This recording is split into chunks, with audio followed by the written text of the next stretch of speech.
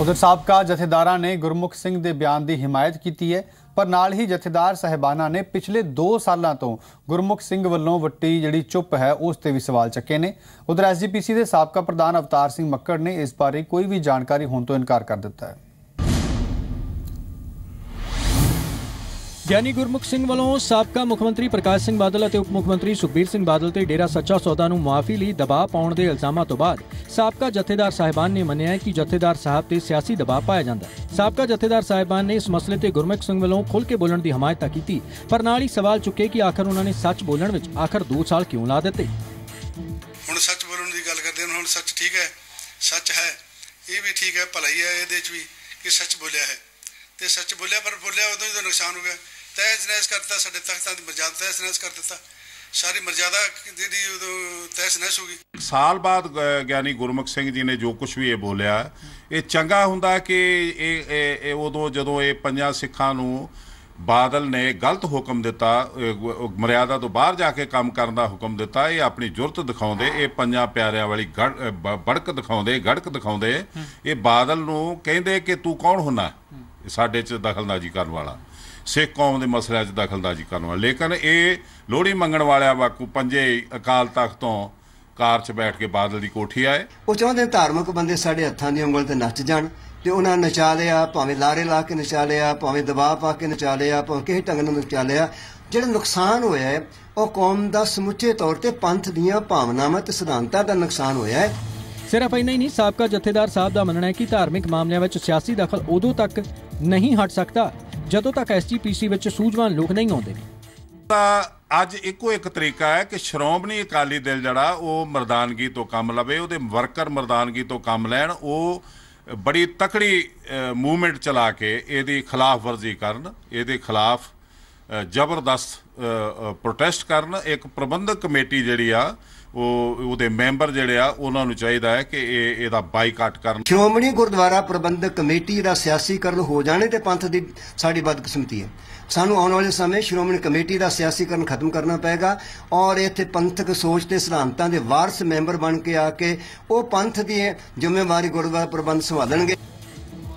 ਉਧਰ ਐਸਜੀਪੀਸੀ ਦੇ ਮੌਜੂਦਾ ਪ੍ਰਧਾਨ ਕਿਰਪਾਲ ਸਿੰਘ ਬਡੂੰਗਰ ਦਾ ਕਹਿਣਾ ਹੈ ਕਿ ਗਿਆਨੀ ਗੁਰਮੁਖ ਸਿੰਘ ਨੇ ਮਰਿਆਦਾ ਦਾ ਪਾਲਣ ਨਹੀਂ ਕੀਤਾ, ਇਸ ਲਈ ਉਹਨਾਂ ਨੂੰ ਅਹੁਦੇ ਤੋਂ ਹਟਾਇਆ ਗਿਆ ਜਦਕਿ ਉਸ ਵੇਲੇ ਦੇ ਤਤਕਾਲੀ ਐਸਜੀਪੀਸੀ ਦੇ ਪ੍ਰਧਾਨ ਅਵਤਾਰ ਸਿੰਘ ਮੱਕੜ ਆਪਣੇ ਆਪ ਨੂੰ ਜਥੇਦਾਰ ਸਾਹਿਬਾਨ ਦੀ ਸਾਬਕਾ ਮੁੱਖ ਮੰਤਰੀ ਨਾਲ ਹੋਈ ਮੀਟਿੰਗ ਤੋਂ ਵੱਖ ਦੱਸ ਰਹੇ ਨੇ ਹੋਇਆ ਕਿ ਸਿੱਖ ਸਾਹਿਬ ਨੇ ਆਪਣੀ ਮਰਿਆਦਾ ਦਾ ਪਾਲਣ ਨਹੀਂ ਕੀਤਾ ਹੈ ਔਰ ਬਾਰ-ਬਾਰ ਜਿਹੜਾ ਸਿੰਘ ਸਾਹਿਬਾਨ ਦੇ ਸੱਦਣ ਤੋਂ ਬਾਵਜੂਦ ਵੀ ਉਹ ਮੀਟਿੰਗ ਵਿੱਚ ਨਹੀਂ ਗਲੀਆਂ ਮੀਟਿੰਗਾਂ ਹੋਈਆਂ ਨੇ।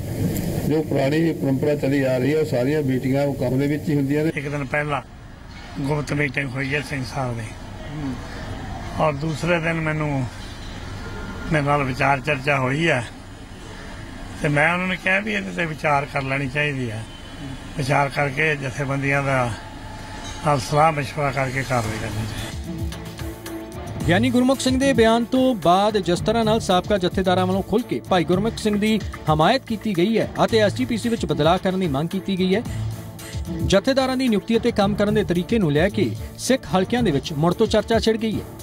ਬਠਿੰਡਾ ਤੋਂ ਗੋਬਿੰਦ ਸੈਣੀ ਦੇ ਨਾਲ ਰਾਜਨ ਗੁਸਾਈ, ਜ਼ੀ ਮੀਡੀਆ, ਅੰਮ੍ਰਿਤਸਰ। ਤਖਤ ਸ੍ਰੀ ਦਮਦਮਾ ਸਾਹਿਬ ਦੇ ਸਾਬਕਾ ਜਥੇਦਾਰ ਗਿਆਨੀ ਗੁਰਮੁਖ ਸਿੰਘ ਦੇ ਇਹਨਾਂ ਇਲਜ਼ਾਮਾਂ ਤੇ ਸਿਆਸਤ ਵੀ ਭੱਗ ਗਈ ਹੈ। ਵਿਰੋਧੀ ਧਿਰ ਆਮ ਆਦਮੀ ਪਾਰਟੀ ਨੇ ਸੁਖਬੀਰ ਬਾਦਲ ਦੇ ਅਸਤੀਫੇ ਦੀ ਮੰਗ ਕੀਤੀ ਹੈ।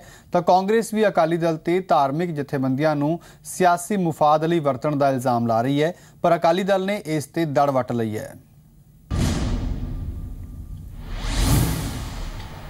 2 ਸਾਲ ਪਹਿਲਾਂ ਡੇਰਾ ਸੱਚਾ ਸੌਦਾ, ਮੁਆਫੀਨਾਮੇ ਤੇ ਪੱਖੇ ਵਿਵਾਦ ਤੇ ਪੱਖੀ ਸਿਆਸਤ ਦੀਆਂ ਉਂਗਲਾਂ ਗਿਆਨੀ ਗੁਰਮੁਖ ਸਿੰਘ ਦੇ ਬਿਆਨ ਤੋਂ ਬਾਅਦ ਇੱਕ ਵਾਰ ਮੁੜ ਤੋਂ ਸ਼੍ਰੋਮਣੀ ਅਕਾਲੀ ਦਲ ਤੇ ਉੱਠਣ ਲੱਗੀਆਂ ਨੇ। ਗਿਆਨੀ ਗੁਰਮੁਖ ਸਿੰਘ ਵੱਲੋਂ ਲਾਏ ਇਲਜ਼ਾਮਾਂ ਤੇ ਸ਼੍ਰੋਮਣੀ ਅਕਾਲੀ ਦਲ ਨੇ ਪਾਸਾ ਵੱਟ ਲਿਆ। ਨਾ ਤਾਂ ਕਦੀ ਸ਼੍ਰੋਮਣੀ ਅਕਾਲੀ ਦਲ ਦੀ ਲੀਡਰਸ਼ਿਪ ਨੇ ਕਦੀ ਵੀ ਤਖਤ ਸਰਬੰਧ ਦੇ ਕੰਮ ਦੇ ਵਿੱਚ ਕਦੀ ਦਖਲਅੰਦਾਜ਼ੀ ਕੀਤੀ ਹੈ। ਨਾ ਕਿਤੇ ਅੱਗੋਂ ਕਰਨੀ ਬੜਾ ਸਪਸ਼ਟ ਜਿਹੜਾ ਹੈ ਕਿਉਂਕਿ ਸਾਡੇ ਵਾਸਤੇ ਤਖਤ ਜਿਹੜੇ ਆ ਉਹ ਸਭ ਤੋਂ ਸੁਪਰੀਮ ਹੈ। ਔਰ ਜਿਹੜਾ ਵੀ ਤਖਤਾਂ ਦਾ ਫੈਸਲਾ ਹੁੰਦਾ ਹੋਇਆ, ਹਮੇਸ਼ਾ ਅਕਾਲੀ ਦਲ ਜਿਹੜਾ, ਉਹਨੂੰ ਸਵੀਕਾਰ ਕਰਦਾ। ਬਾਕੀ ਇਸ ਤੋਂ ਇਲਾਵਾ ਕੋਈ ਹੋਰ ਜਿਹੜੀ ਹੈ, ਕਿਸੇ ਵੀ ਜਥੇਦਾਰ ਸਾਹਿਬਾਨ ਦੀ ਗੱਲ ਦੇ ਉੱਤੇ ਜਿਹੜੀ ਹੈ, ਉਹ ਟਿੱਪਣੀ ਕਰਨੀ ਵਾਜਬ ਨਹੀਂ, ਕਿਉਂਕਿ ਸਾਰੇ ਹੀ ਜਥੇਦਾਰ ਸਾਹਿਬਾਨ ਜਿਹੜੇ ਆ, ਉਹ ਸਤਿਕਾਰਯੋਗ ਉਧਰ ਆਮ ਆਦਮੀ ਪਾਰਟੀ ਅਤੇ ਕਾਂਗਰਸ ਦੋਵੇਂ ਹੀ ਇਸ ਮਸਲੇ ਤੇ ਅਕਾਲੀ ਦਲ ਨੂੰ ਘੇਰ ਰਹੇ ਨੇ। ਕਾਂਗਰਸ ਦਾ ਕਹਿਣਾ ਹੈ ਕਿ ਅਕਾਲੀ ਦਲ ਨੇ ਹੀ ਆਪਣੇ ਸਿਆਸੀ ਮਫਾਦ ਲਈ ਡੇਰਾ ਸੱਚਾ ਸੌਦਾ ਵਿਵਾਦ ਨੂੰ ਜਨਮ ਦਿੱਤਾ ਸੀ। ਉਧਰ ਆਮ ਆਦਮੀ ਪਾਰਟੀ ਵੀ ਇਸ ਮਸਲੇ ਤੇ ਸ਼੍ਰੋਮਣੀ ਅਕਾਲੀ ਦਲ ਦੇ ਪ੍ਰਧਾਨ ਸੁਖਬੀਰ ਸਿੰਘ ਬਾਦਲ ਦਾ ਅਸਤੀਫਾ ਮੰਗ ਰਹੀ ਹੈ। ਇਹ ਸਾਰਾ ਹੀ ਸਿਸਟਮ ਬਾਦਲ ਸਾਹਿਬ ਨੂੰ ਸੰਭਾਲਤਾ ਸੀ। ਬਾਦਲ ਸਾਹਿਬ ਨੇ ਤੇ ਸੁਖਬੀਰ ਨੇ ਇਕੱਠੇ ਹੋ ਕੇ ਇੱਕ ਪਲੈਨਡ ਵੇ ਦੇ ਨਾਲ ਇਹ ਲੜਾਈ ਪਵਾਈ ਹੈ। ਲੜਾਈ ਪਵਾ ਕੇ ਫੇਰ ਇਹਨਾਂ ਦੀਆਂ ਵੋਟਾਂ ਲਈਆਂ।